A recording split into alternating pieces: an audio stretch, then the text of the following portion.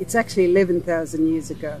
Yeah. Mm. Something happened to the Earth mm. that melted the polars, Yeah. and we had a, a sea level rise. Yes. And what they're finding now, not just here in West Australia, but at the bottom where the Bight was, mm. the songs tell that the people were living out to sea. Yeah. And then this thing happened, and Yeah. so there was a forced migration in. What we're saying is Yeah. that this is indigenous science. Yeah. This wisdom has been here from the beginning of time in Yeah. all the disciplines. Yeah. And Yeah. stop, you know, being elitist, open our minds That's to the reality And be and be human beings. Yeah. So these experience, these stories are all about how the world changes Yeah. and what do we do as human beings.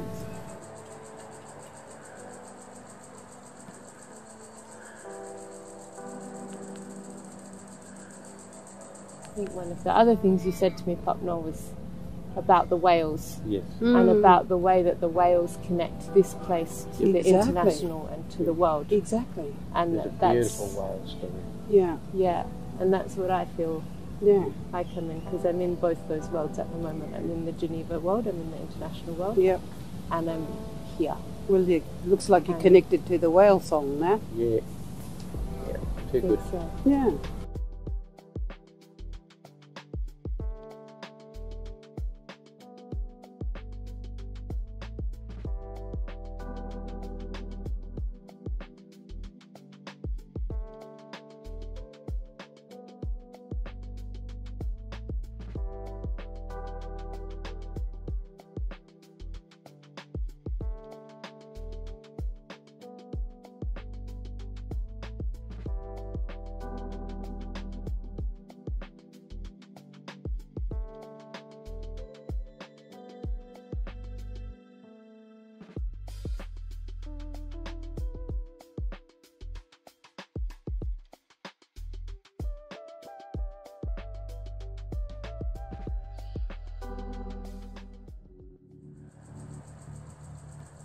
Yeah. When the sea level rose, about 150 metres.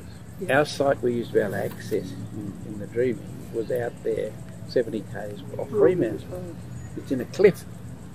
They call it the Continental Shelf. Mm. It's a great big cavern, monstrous. Three blue whales can swim in there at the same time. Oh my God.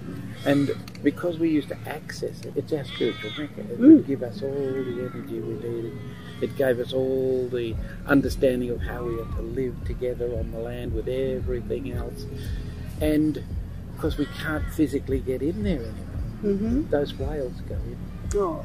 and they sing a song. You know, Yeah, beautiful. that long call they make, you know, goes right through you. Mm. And they go in there, and the old song they were singing for the last two or three years, finished. Mm. So they draw up a whole new song.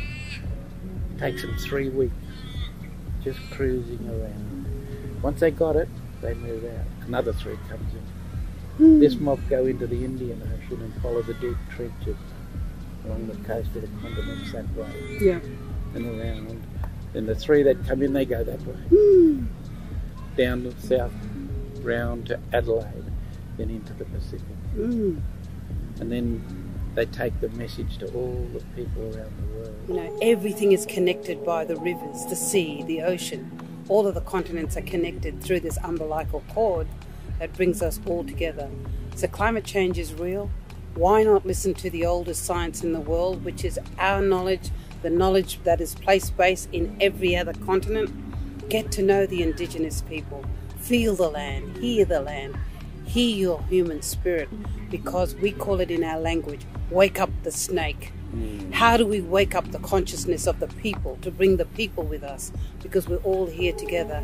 Learning about the ways of the ancient people that have lived on the land that they're now living on and how they've eked out an existence and um, gone about their business and uh, made sure that everything everything was cared for you know, and looked after and kept safe and secure.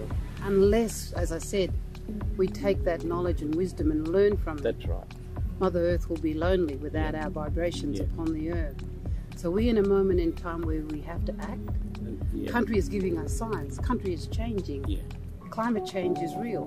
Yeah. You know what I mean? We're going from climate change to climate chaos and That's climate right. wars. So we need a different way to tell the story, to bring the people with us. And we need, as, as you were sharing, a story that will touch your spirit, your human spirit, to connect you to the land. It is building a coalition of hope Yeah. of goodwill, of how we move forward in a spirit of collaboration, because we are dealing with complexity when we're talking about climate change. This is a man made disaster. Yes. And so, in order to right size the planet, we need to bring in all of this collected wisdom. Yep. And why would you not go to the oldest science in the world, whether it's in Brazil, whether it's in Canada, whether it's in Switzerland, whether it's, you know, all over the place? This knowledge exists. It is a gift from Indigenous people across the planet that are saying, wake up, wake up your consciousness. Climate change is real. And we've all got to recognise the fact that we're all part of the problem. So we're also all part of the solution. Exactly. So we have faith, Yep. brother and sister from two ends of the state, Yeah. Coming together because we Like believe bookends. in dreaming together Yeah. for the best thing of the planet oh, because beautiful. we cannot let this world be undone. It's unfinished business. We have to change. Most importantly, we have to be brave and we have to have this emergence of a conversation because humanity and Mother Earth depends on it. Not only do we have a dream, but we send the dream out and we must walk and work very, very hard to give climate chaos a climate chance. Beautiful.